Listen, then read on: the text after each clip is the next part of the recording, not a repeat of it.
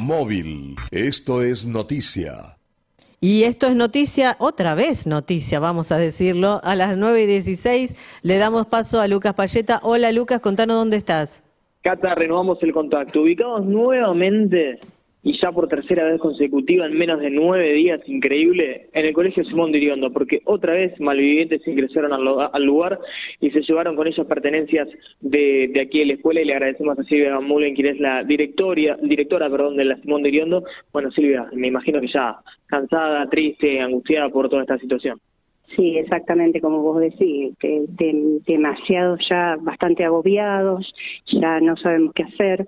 Obviamente ya nos pusimos en contacto con las autoridades pertinentes, pero bueno, otra vez fuimos vandalizados, ingresaron, eh, habíamos reparado, digamos, las ventanas, eh, habíamos puesto eh, seguridad extra y sin embargo, eh, bueno, otra vez volvieron a ingresar y así, sobre todo llevándose cosas a lo mejor eh, de valor para nosotros, no sé, pero eh, tres termos, pavas, la campera de un alumno, los vasitos de la, de la copa de leche, pero sobre todo lo que sufrimos de nuevo es mucho daño.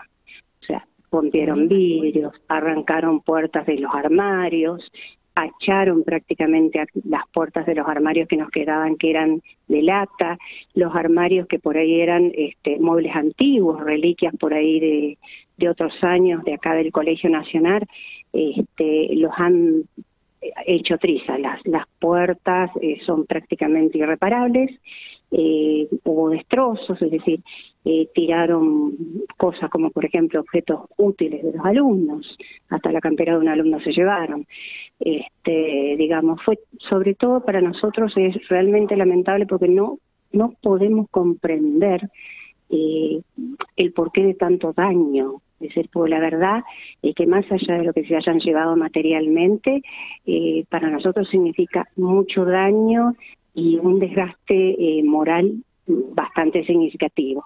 Eh, prácticamente en menos de 15 días volver a ser vandalizado tres veces, no alcanzamos a reponernos ni a reparar las cosas, que otra vez tenemos que iniciar de nuevo este, los trámites necesarios para recuperar las cosas por un lado y por otro lado para volver a este, dejar la escuela en condiciones.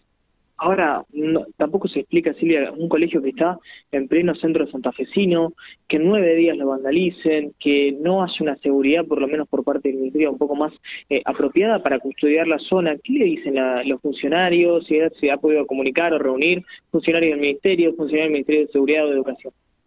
Eh, sí, fundamentalmente uno se comunica con el Ministerio de Educación. Ellos hacen las actuaciones pertinentes porque se comunican con el Ministerio de Seguridad.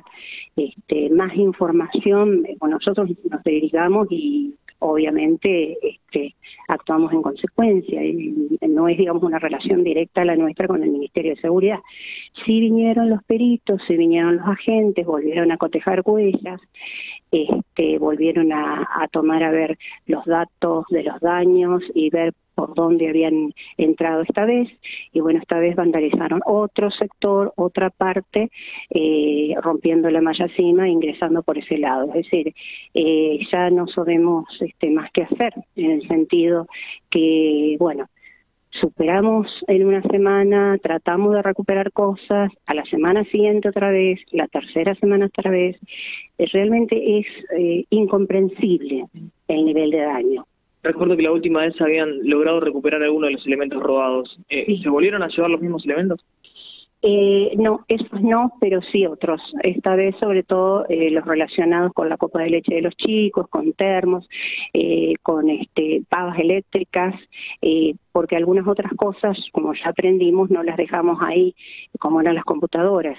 Eh, la otra vez sí habíamos perdido algo. Lo, lo, de mayor valor que no pudimos rescatar es un sistema de router que distribuye Wi-Fi dentro en el interior de esta escuela. Esta escuela tiene dos alas que son enormes y que, bueno, la distribución del Wi-Fi es importante para nosotros.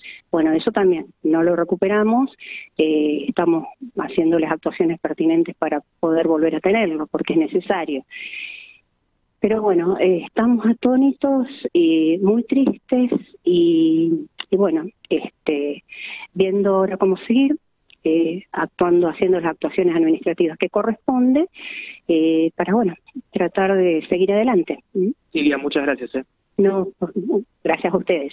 Cata, compañeros, la palabra de la directora de la Simón Diriondo. Reiteramos, tres robos en menos de 10 días.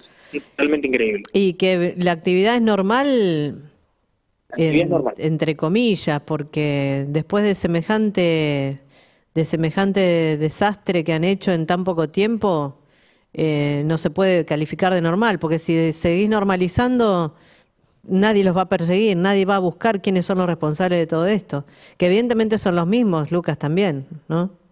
Sin lugar a dudas, Cata. Recuerdo la última vez habían detenido, eh, me acuerdo un grupo de personas, eran dos o tres, eh, en un vehículo, habían recuperado los elementos de la escuela. Desconozco después qué ocurrió con eso, si continuaron de, de forma aprendida o quedaron finalmente detenidos, pero se trataría podemos decir de alguna forma, de las mismas personas, porque saben por dónde poder ingresar, eh, los lugares precisos de dónde hay cosas importantes de la escuela, porque las dimensiones del la Simón Diriondo son realmente enormes, pero estas personas van directamente a lugares específicos. Bueno, y los oyentes que suman la cuota de sentido común, ¿no? Buenos días, chicos. Si roban en la escuela que está a, un metro, a metros de la municipalidad, ¿qué nos espera la gente de los barrios?